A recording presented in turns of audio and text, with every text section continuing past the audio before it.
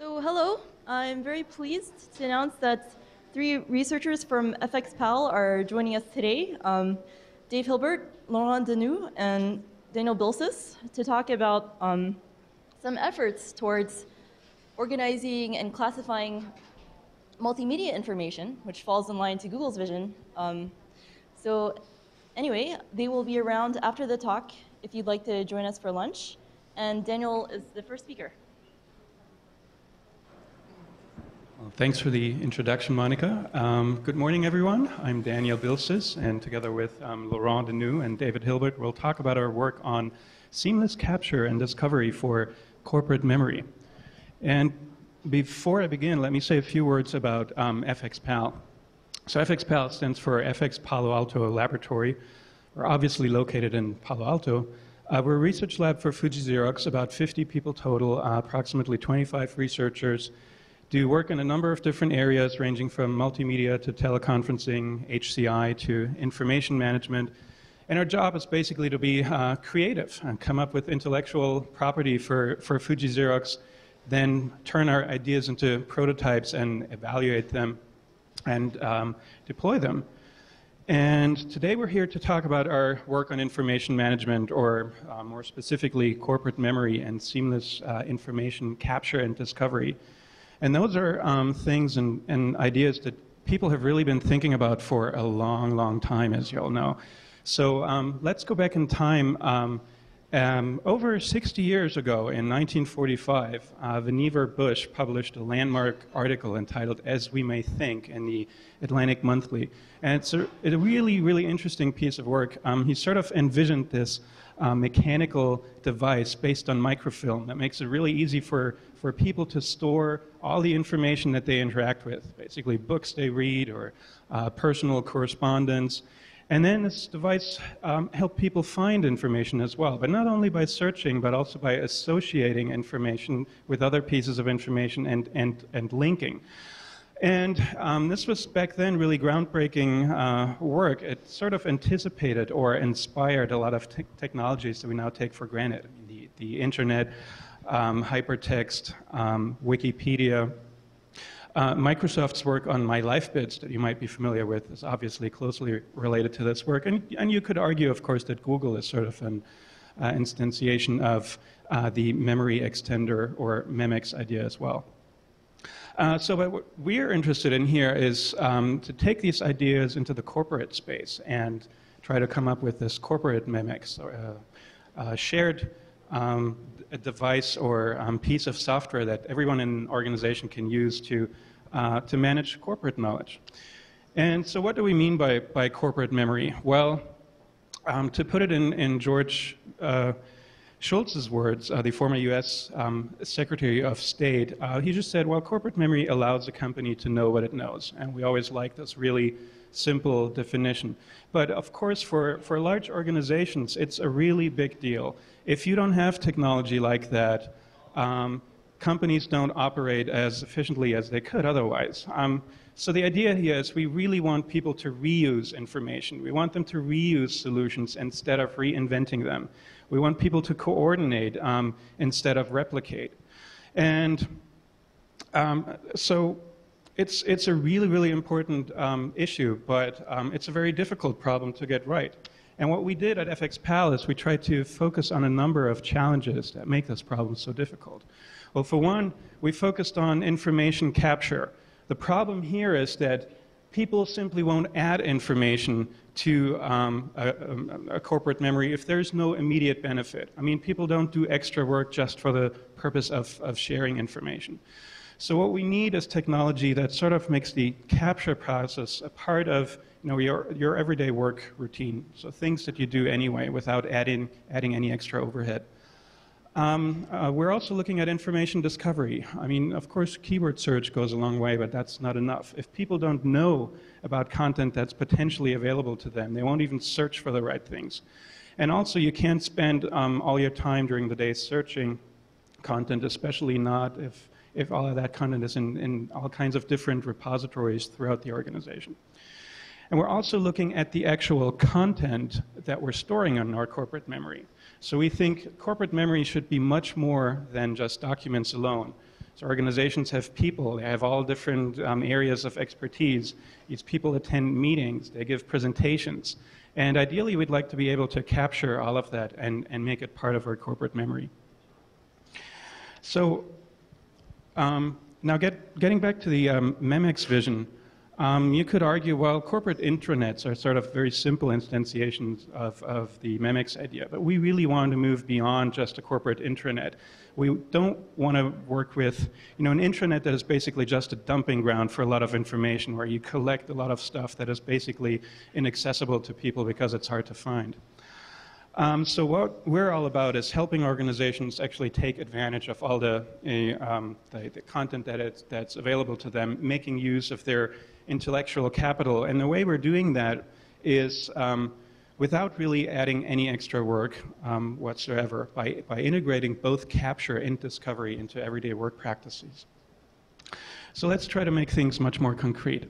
Um, so at FXPAL, uh, we have a number of different content repositories, just like any other organization.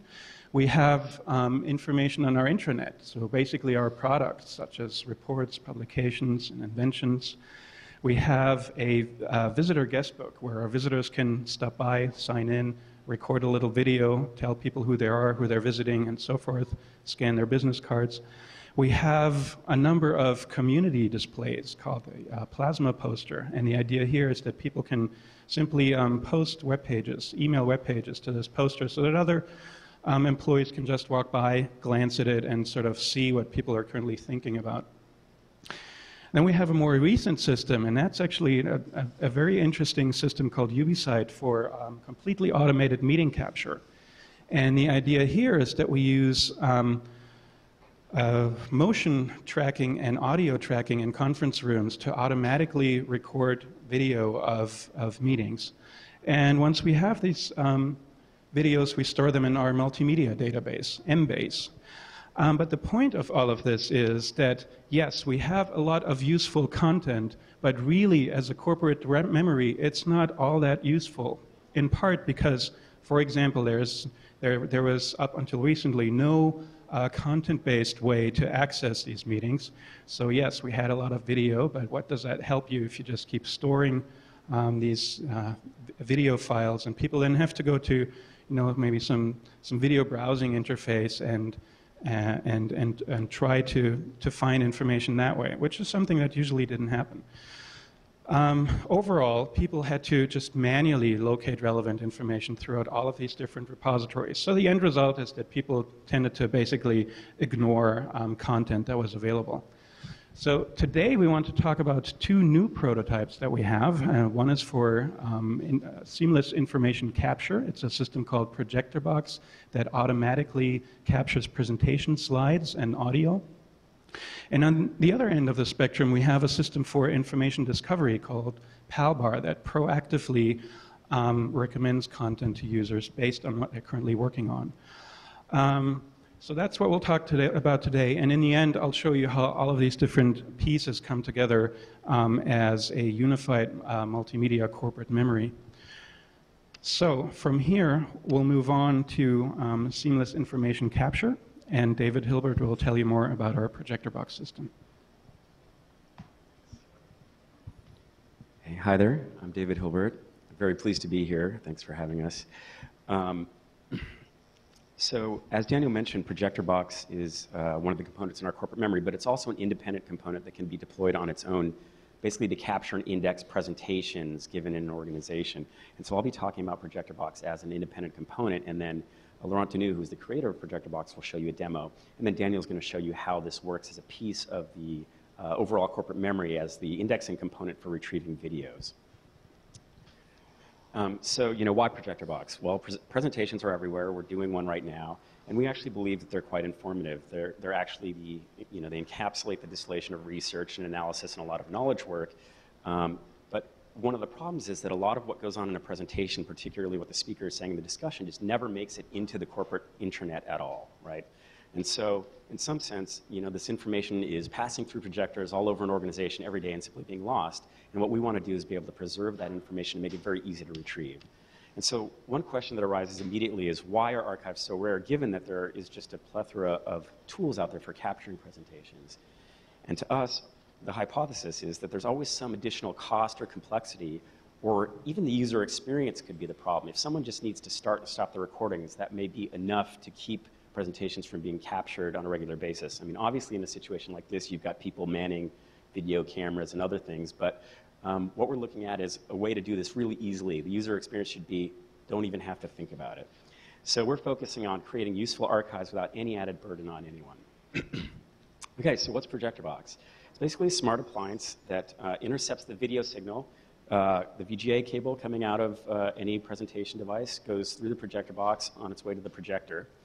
Uh, a key feature is that we apply um, image OCR to extract the text from slide images and create an index. And then we just capture audio using a microphone.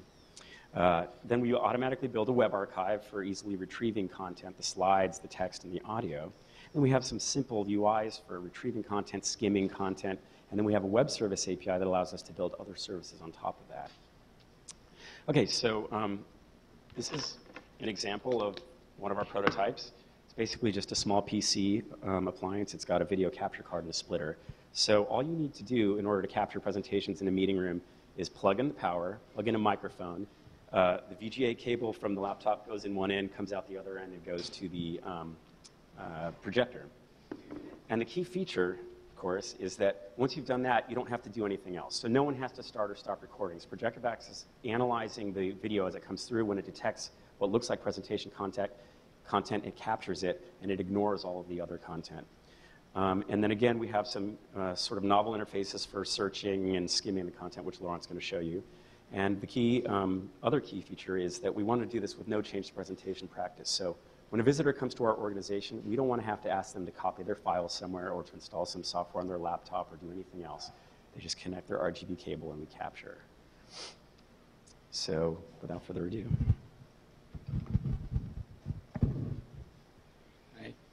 Good morning. So let me show you a, a demo of um, the website that people go to, to to retrieve presentations. They have basically two ways of uh, finding presentations. They have the search box and they have a browsing interface by, by date. So if you know that the presentation was captured on, on the 21st, you can dive into that day directly and you end up into the day view where you can easily browse the slides that have been automatically captured by PBox. And mouse look at Renaissance office, which is right next door. There's actually a connecting door into. Um, and quickly skim the content to get an overview of what's, what, what's captured. Um, I'm going to mute the audio.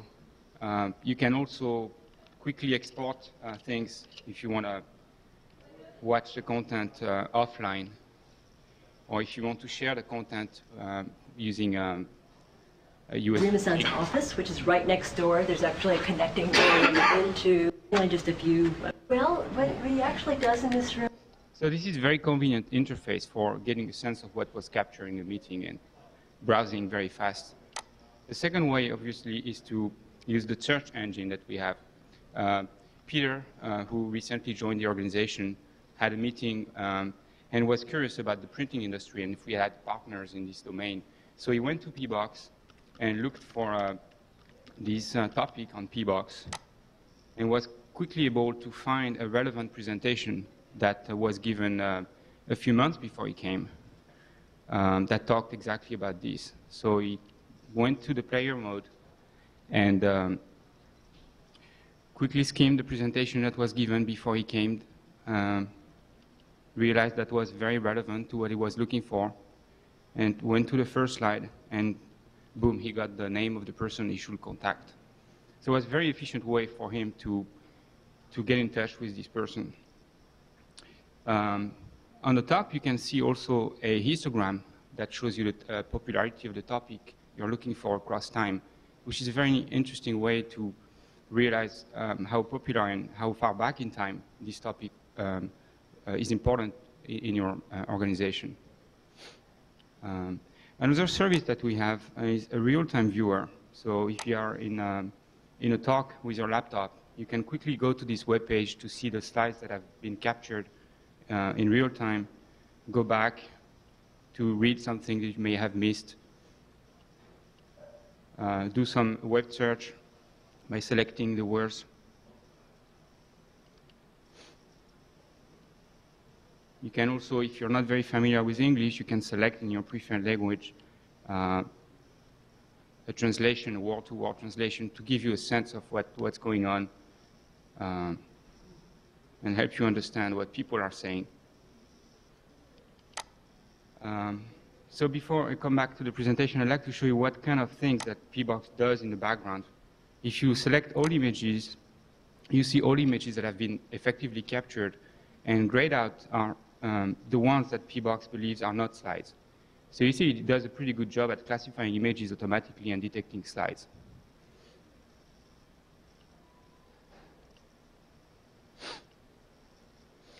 So the, to detect slides, we, we use a very simple method, which is uh, leveraging the OCR result that we, we have because we applied OCR on each image. And we just currently use the average font height to say if, if an image is a slide or not a slide. Uh, to present, uh, to classify the, the, presentation, find the boundaries between presentations, we're using just time uh, currently. And, but we're looking into uh, more elaborate ways of doing that. In terms of storage cost, it's very, very minimal. Uh, not just for storage, which is cheap, you could argue, but also for bandwidth requirements. So when people go to the website, they can um, quickly get a sense of the content without having a high um, DSL connection or anything like that.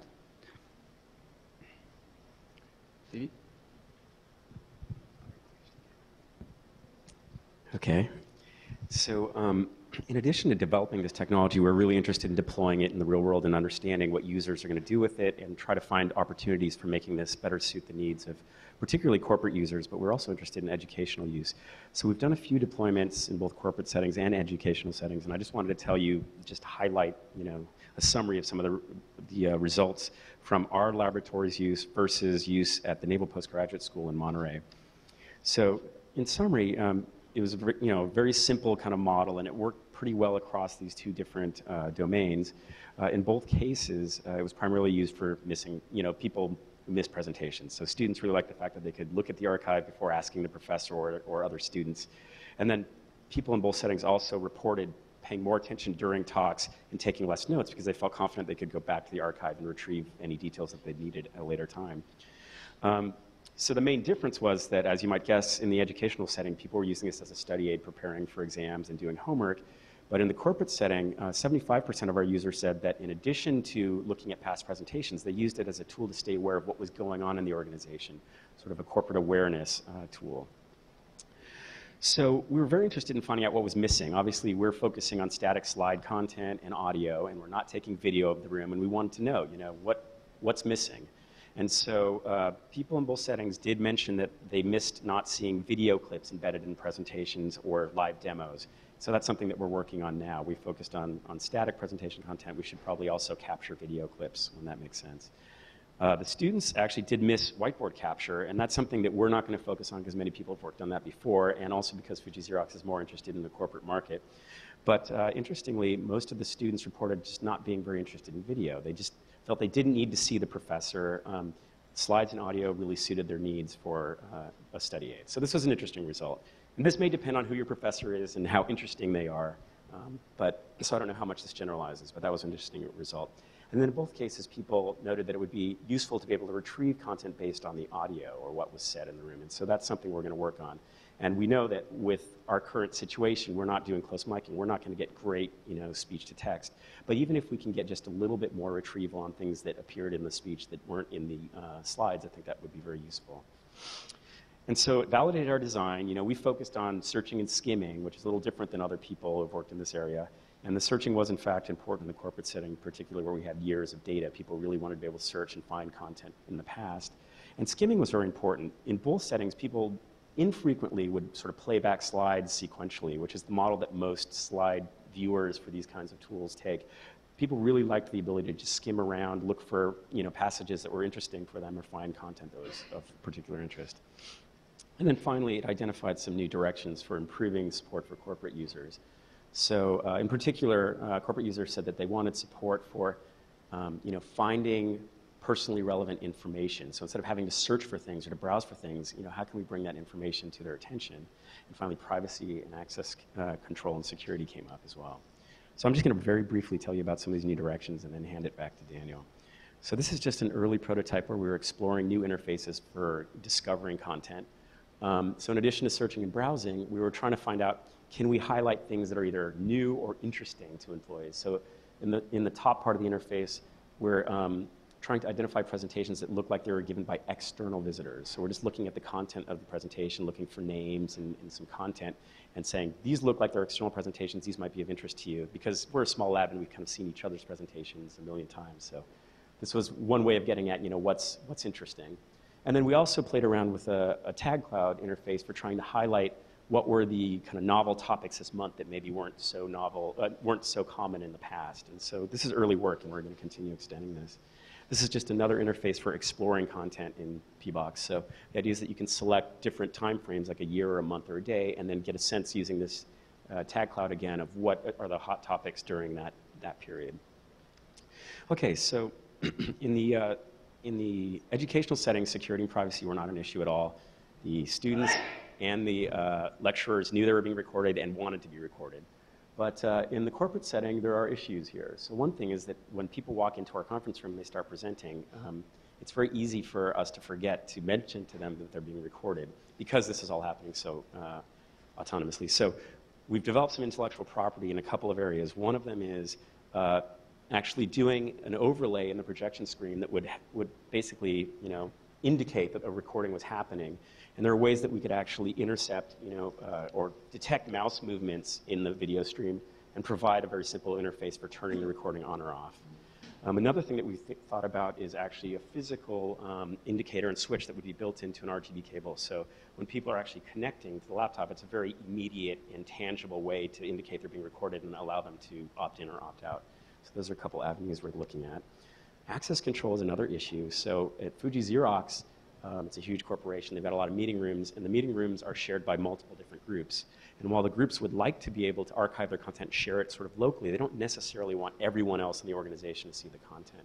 And so we're trying to find ways to support access control without uh, breaking the user experience, which is just utmost simplicity. So we're looking at the use of smart cards or biometrics to identify the person who's presenting and then use that as a way of setting up default access control on the content, allowing them to then release the content after the fact more widely if they want. We're also looking at alternative form factors. So the marketing and planning people, Fuji Xerox, were really keen on a personal version of this. So our colleagues, research colleagues in Japan have already developed a version of PBox that just runs on a USB drive. And the idea is it captures the content on the drive, and then when you plug the drive in to a network connected computer, it can upload it to the server. And this also um, shares the feature with uh, the smart cards that we can associate these devices with a person or a team, and then we can automatically do the access control, at least initially. So in summary, you know, we feel that useful information is passing through projectors all the time and simply being lost in organizations. And we were trying to come up with a very simple way of preserving this information and making it easily retrievable both for users in the one case and also for services such as the real-time slide enhancement and the corporate memory, which Daniel's going to show you. so many people contributed, so.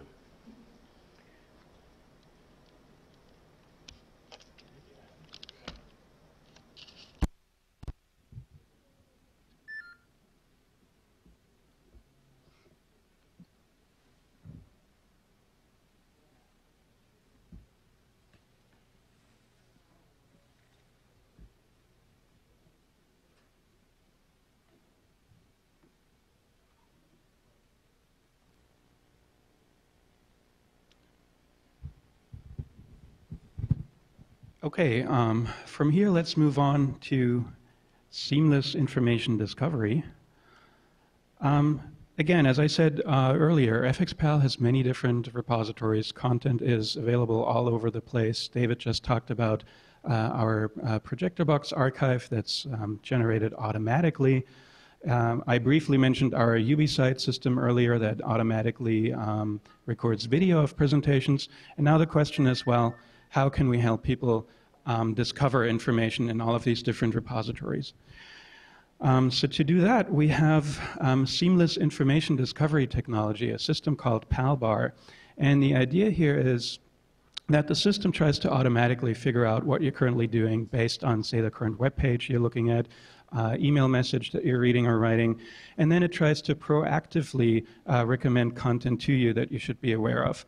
Um, and the concept itself is not new. You might uh, be familiar with systems like Watson or the Remembrance Agent has been around for a long time. But there are a number of user interfaces that I want to show you that make this, in addition to some algorithmic um, bells and whistles that we have, quite unique. And part of the novelty also lies in the actual um, integration of all those different um, pieces of our uh, corporate memory. So, as I said, the idea is instead of uh, asking users to uh, manually enter queries and search for things. Um, we're trying to let the system figure out um, if there's content that you might be interested in automatically. So this is what it looks like. Um, Palbar is a toolbar. We currently support um, uh, Firefox, IE, and Outlook, so it works for both um, email and web pages. And now the idea is that whenever you go to a new web page, uh, the bar extracts the entire text from that page sends it down to our server. Now, this server will automatically convert um, the text into a query, and then it has a full text index um, based on all of these different repositories that I talked about. So it sends a query to, to these repositories. Um, we're getting matches back. Uh, we're looking then at the exact similarity between the text and the matches we're, we're getting, and if they're above a certain threshold, these recommendations will be sent up to the bar, and then it's up to the bar to render recommendations and make them available to users. And we have a number of different interfaces that I want to show you. This is what the um, original initial version looked like. So let's assume I'm a research scientist at FXPAL and I'm interested in, in web services. So I just opened up my browser, uh, went to a web services web page, and of course I'm using PALBAR, this toolbar up there. Um, what's happening is Palbar will take a look at the page, and if it finds related information, it will tell the user through these recommendation buttons here um, that correspond to different categories of content that we have. And the idea is whenever something uh, interesting is available, um, the system will change the color of a button so that the user knows, okay, I can just click on this to basically get a menu that lists documents that are closely related to this web page, as well as people that have done work in this area. So in this case, basically the authors um, of these documents here. And so this sort of worked okay, but um, as you can maybe guess, um, one thing that we immediately figured out after a uh, user study that we did was that, well, the nice thing is that PALBAR really doesn't get in the way at all. Users don't find it distracting, and that's that little uh, red bar on the left side. But the flip side of it is that users typically forget that the bar is there. So it's just a little bit too subtle in this case to actually be useful. So then um, we did some more work and came up with an alternative interface. Um, so in this case here, um, in addition to changing the color of buttons, we can automatically and proactively show these recommendation windows that look like this. So they show up um, automatically for particularly relevant uh, recommendations. And you can now see a little bit more content. You can see the title of a document that's recommended, the uh, name of an author. You get an initial indication as to why um, this document was recommended to you. Um, you can look at the query that the server generated automatically. You can see how the query matches the document that's being recommended, and you can also see how it matches uh, the web page that you're currently looking at. If you don't interact with these windows, they just disappear automatically after a few seconds. Now, again, as you might guess, what we found out then is that, yes, I mean, it's sort of nice that people don't forget that the bar is there, but the flip side again is that now they find it just a little bit too distracting. So sometimes it, it gets in the way, and users don't want to interact with these recommendations right away while they're working on other things. Um, so this led us to um, another interface that we have, and this one we call the Recommendation Digest. And here the idea is that we sort of aggregate recommendations over time, um, recommendations that you might not have seen because you might not have clicked on these, these buttons. But here the idea is, let's say, um, if during uh, a week of, of doing my regular work, um, I went to, let's say, five different pages that all talk about music information retrieval. And the bar keeps recommending documents to me um, that I might not have seen or looked at. The idea here is we can aggregate these recommendations over time and then make that information available as part of these digests that people can either request explicitly by clicking on the digest button and request either a daily or, or a weekly digest, or, and this is actually the way most people use this at FXPAL, you can subscribe to digests through email.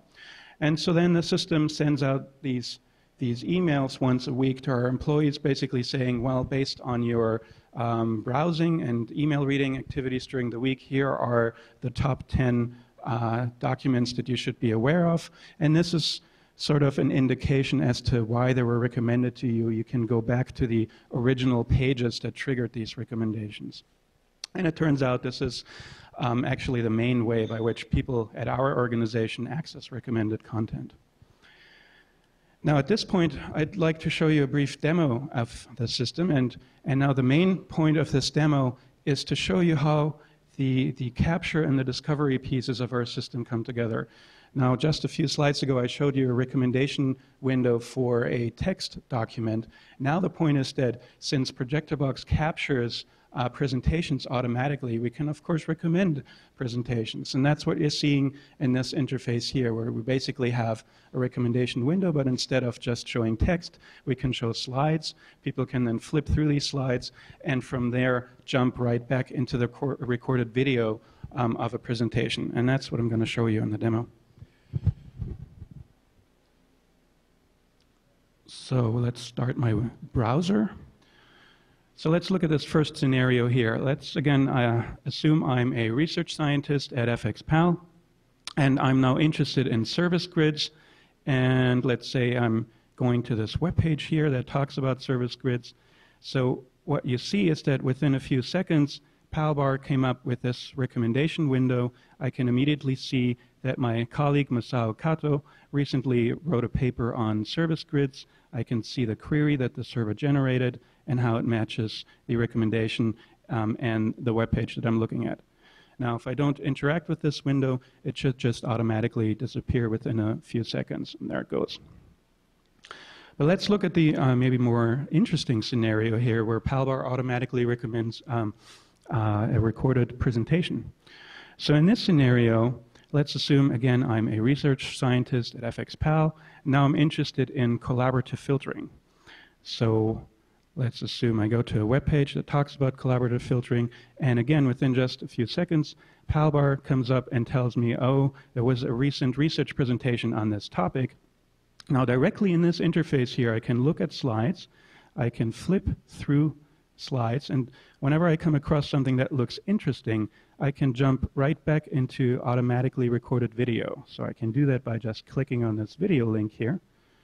And then our video player comes up, and the point here is that on the left side, you can see the original uh, meeting go by, the recorded video. On the right side, you see slides go by. Down here, you see a timeline of the presentation. Those blue bars are slide transitions, and those red squares are relevant slides. So in this case, the system actually knows where the user came from. And in this case, it was um, collaborative filtering.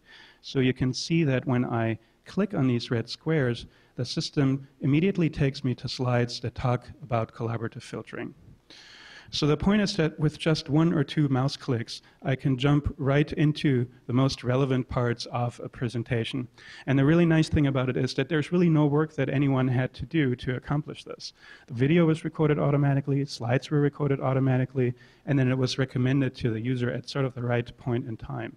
And this really addresses an issue that we had all the time at FXPAL, where people come and go, they give these presentations, maybe sometimes to only small groups of people, just like we do right now. We're giving a presentation to a small group of people. And once, once we go home, it's unclear how that content will be used, right? And that's an issue that we have, where this system really helps us take advantage of you know, speakers that come by, um, give a presentation, and we can, without any, any overhead or effort, reuse this information. Let me say a few more words about recommendation uh, interfaces. Um, so, of course, people are sometimes already used to certain um, notification UIs that they might already use for, for email notification and so forth. Um, so, one of the things that we implemented recently is an extension for actually technology that we got from you guys for the uh, Google desktop and the sidebar. So let me bring up the Google sidebar here. And the idea is that we have this little recommendation plugin that can render recommendations and basically add it to your sidebar. And let's just look at the exact same scenario again. Let's go to this web page. And obviously, I can turn off these big recommendation windows if I don't like them. But the point now is that um, these recommendations are added to the side of the screen and the real big advantage is that people are now not forced anymore to interact with these recommendations right away. So at any point in time, when you have a moment, you can just glance at them, see if there's something relevant there, and you can uh, just click on it, and that brings up basically uh, the same interface that I just showed you to look at individual slides. And of course, um, the other nice thing that allows us that we can do now with um, the, the, the sidebar is to hook into your um, alert system for, for rendering notifications, similar to, to email or, or news alerts. All right, um, let's briefly jump back into the presentation. In terms of future work, uh, one thing we're really interested right now is email integration. Of course, no corporate memory is complete without email. There's a lot of corporate knowledge buried somewhere in, in email. But of course, that's a tricky issue because there are obviously um, a lot of privacy concerns. Um, and, and it's hard to get right because our whole philosophy is no overhead for the user whatsoever. Um, so we'd like to, to stick to that ideal as, close as, as closely as possible. Um, and um, maybe go from, from, say, seamless information capture to painless information capture, where we have just very, very little user interactivity to make it real easy for people to, to share content with the organization that might be non-confidential. In that context, we're really interested in usable access control. Uh, we're also interested in extending our corporate memory beyond corporate boundaries. So can you take mobile devices, access your corporate memory, or even use mobile devices to, to capture content and bring it back into the organization? We're currently implementing a new um, enterprise knowledge portal, and as part of that, we're looking at different ways to, to visualize corporate memory information through text mining and, and visualization techniques. And with that, well, actually, one more thing that I wanted to mention. We're clearly interested in more evaluation of the system, and you know, one piece of this evaluation that's critical for us, obviously, is how to make money with this technology. And as part of that, um, we've recently deployed um, our corporate memory system as a sales support tool for our colleagues in Japan. So the idea is that they get immediate access to related sales proposals, um, customer information, product information, and so forth.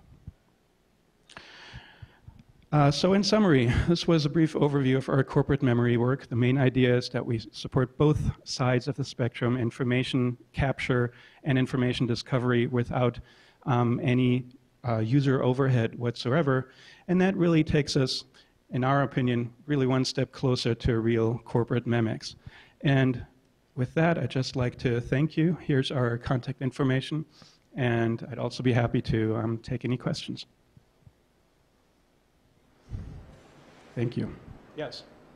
So a, a lot of the, um, so, so what I think you, you've observed the problem that uh, people don't want to put the information, take the trouble to manually put the information. People don't want to take the trouble to manually search for it. So you're um, you're basically trying to take um, all of the actions out of the hands uh, of the users. When wondering if in a lot of these cases where you've got two sides that don't want to, either side wants to go the whole way, a lot of mileage can be had by getting each one to part way. And so in terms of um, getting the people who are creating the information. So, so, so tagging is, mm -hmm. is a very simple way to get to get people to go halfway. So very easy little bits of collaborative filtering. Mm -hmm. Is there? Um, I was trying to figure out how one could how, how one could add that facility for that. I'm, I'm not sure if, you know, if everything is um, if everything is sort of automated in these in, in these sealed components mm -hmm. with a seal relevant structure. I'm not sure how to go from um, if, if I disagree with what it's showing me, how can I, how can I say, you know, no, this isn't about that, it's actually about, Yes, I mean, there, there is a little bit of, of interactivity, and I think there are, th- those two approaches are also not mutually exclusive. I think it makes a lot of sense to automate as much as possible, but if users feel like there is some value in, in providing feedback, we can take that into account.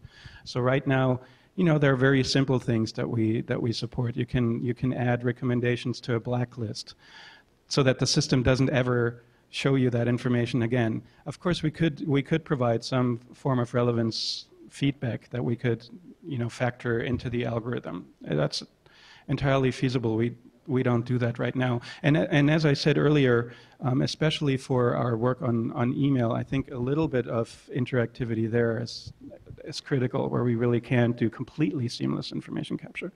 Sure.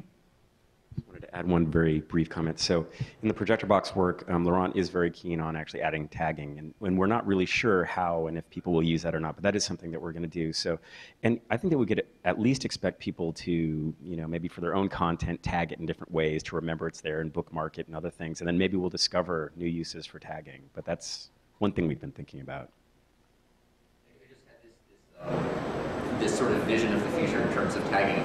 You know, so I'm, I'm sitting here with my laptop, um, watching your talk, and I can imagine saying, thinking, oh, this is relevant to food, and you know, I just type in a couple of keywords, and, and you know, somehow this, you know, um, um, we, we save the, um, these are essentially annotations on your on, on your thing, so that people looking through say, you know, Pablo thinks this is relevant to collaborative filtering, and you know, and Jeff or whomever thinks that this is relevant to something or another, and so you could you could build. Um, you know, we're already taking notes. Right. Why not? Why not have them be sticky to whatever we're taking notes on? No, that's a very, very nice idea. And actually, the work that led to ProjectorBox started with a collaborative note-taking tool, where you know, in, in basically people were sharing slide images, grabbing text from the images, and sharing notes collaboratively. And so it's very in, in the spirit of what where this work came from. And I think that this could be a very useful uh, direction to take it. So. Do you recommend things outside of the corporate intranet? Do you recommend documents that are in like NEC's database or? Yes, I mean, uh, so the whole system is pretty customizable. So you can basically, you know, uh, set it up to send your query wherever you want. In our case, we currently don't do that proactively, but you can explicitly request information from other repositories based on the page that you're looking at. And you know, the, the, the nice thing of limiting the proactive approach to our intranet is that recommendations are, are typically pretty focused on and related to what we're actually working on rather than going off to, let's say, Google and you know, grab content from the web or something. Anything else? Thank you.